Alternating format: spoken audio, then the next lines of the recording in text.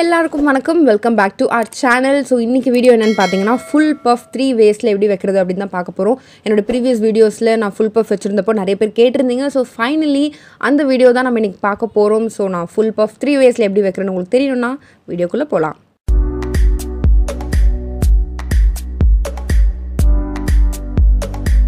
நான் காட்டுற மூணு வேஸ்மே ரொம்ப ரொம்ப ரொம்ப சிம்பிள் ஈஸியாக இருக்கும். எல்லாருமே இந்த ஹேர் ஸ்டைல் பண்ணலாம். ஸோ அதுதான் நான் உங்களுக்கு காட்டுறேன்.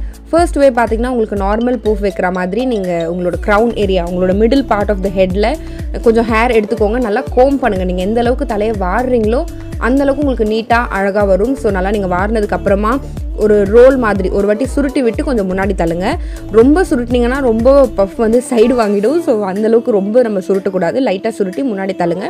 தள்ளிட்டு கொஞ்சம் லைட்டாக கோம் பண்ணிவிட்டு அதுக்கப்புறம் கிளிப் பண்ண போகிறோம் நான் டிக்டாக் கிளிப் யூஸ் பண்ணுறேன் நீங்கள் எந்த கிளிப்னாலும் யூஸ் பண்ணலாம். ஸ்லைட் எதுனாலும் யூஸ் பண்ணலாம். ஸோ இது யூஸ் பண்ணதுக்கப்புறமா என்னோட பப்பாக்கு பார்க்க இப்படி தான் இருக்குது அதுக்கப்புறமா என்னோடய காது கொஞ்சம் ஹேர் நான் இப்படி தான் எடுத்துக்கிறேன்.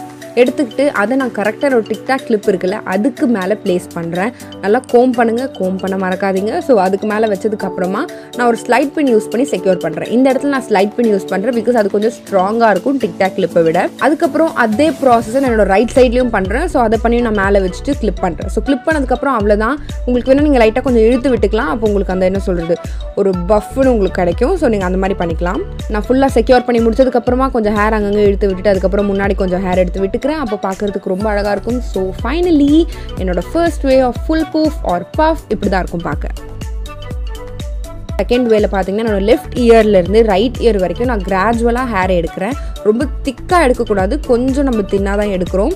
ஸோ நம்ம ஃபுல்லாக அந்த மாதிரி கிராஜுவலாக ஹேர் எடுத்ததுக்கு அப்புறமா நான் இது எல்லாத்தையும் நல்லா கோம் பண்ணுறேன் அதுக்கப்புறம் நான் கீழே குனிஞ்சிட்டு என்னோட ஹேர் ஃபுல்லாக ஃப்ரண்ட்டில் கேதர் பண்ணுறேன் அப்போ தான் பஃப் அழகாக வரும் ஸோ ஃப்ரண்ட்டில் கேதர் பண்ணதுக்கப்புறமா நான் அகைன் கோம் பண்ணுறேன் பிகாஸ் கொஞ்சம் அந்த இடத்துல சிலும்பு இருக்கும். அது எப்படி சொல்கிறதுன்னு எனக்கு தெரியல.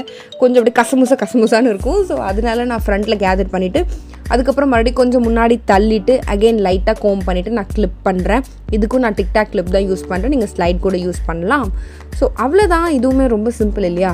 ஸோ இப்போ அதுக்கப்புறம் நம்ம கொஞ்சம் கொஞ்சம் ஹேரை காது கிட்ட பின்னாடி எங்கெல்லாம் எடுத்து விட்டு அதுக்கப்புறம் பின்னாடி இருக்கிற ஹேர் ஃபுல்லாக எடுத்து முன்னாடி விட்டுக்கிறோம். அப்படி விடும்போது பார்க்க ரொம்ப ரொம்ப ரொம்ப அழகாக இருக்கும்.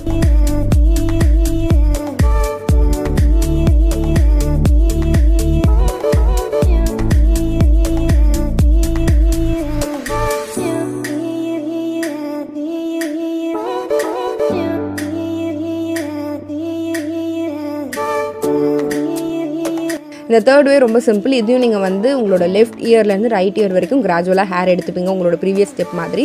பட் இந்த இடத்துல நம்ம ஸ்ட்ரெயிட்டாக கிளிப் பண்ண போகிறதில்ல ஜஸ்ட் நம்ம ஃபுல்லாக கோம் பண்ணுறோம் கோம் கோம் கோம் தலை நல்லா வாரிக்கோங்க. உங்களுக்கு அங்கங்கே அந்த பிசுறெல்லாம் இல்லாமல் நல்லா வாரிக்கோங்க. வாரினதுக்கு அப்புறமா நம்ம ஒரு ரப்பர் பேண்ட் யூஸ் பண்ணுறோம் அதாவது ஹேர் டை அதை எடுத்துக்கிட்டு நம்ம ஹேர் ஃபுல்லாக நல்லா டைப் பண்ணுறோம் கொஞ்சம் ஓரளவுக்கு ரொம்ப டைட்டாக வேண்டாம். அந்த ஹேர் டையை கொஞ்சம் பின்னாடி வழியாக இழுத்துக்கிறேன். அப்போ தான் நமக்கு பஃப் கொஞ்சம் ஈஸியாக வரும். ஸோ அதை லைட்டாக நான் பின்னாடி இழுத்துக்கிட்டு அது லூஸ் ஆனதுக்கு அப்புறமா நான் முன்னாடி தள்ளுறேன். என்னோட ஹேர் ஃபுல்லாக நான் முன்னாடி தள்ளுறேன். முன்னாடி தள்ளும் போது சேரா நமக்கு பஃப் வந்துடுச்சு பார்த்தீங்கன்னா ரொம்ப சிம்பிளில் அதுக்கப்புறம் நான் இதுக்கு மேலே டிக்டாக் கிளிப் யூஸ் பண்ணுவேன்.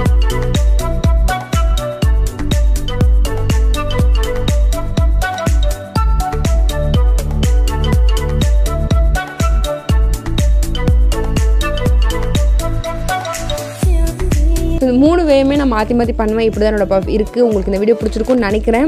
உங்கள் ரிக்வஸ்ட் நீங்கள் கேட்டிருந்தீங்க நான் பண்ணிட்டேன். அண்ட் ஏன் உங்களுக்கு இந்த வீடியோ பிடிச்சிருந்தா கண்டிப்பாக லைக் பண்ணுங்கள் ஷேர் பண்ணுங்கள் சப்ஸ்கிரைப் பண்ணுங்கள் உங்கள் எல்லாருமே நான் அடுத்த வீடியோவில் பார்க்குறேன். அதுவரை உங்கள் வந்து விடைபெறுவது உங்கள் கீர்த்தி. பாய்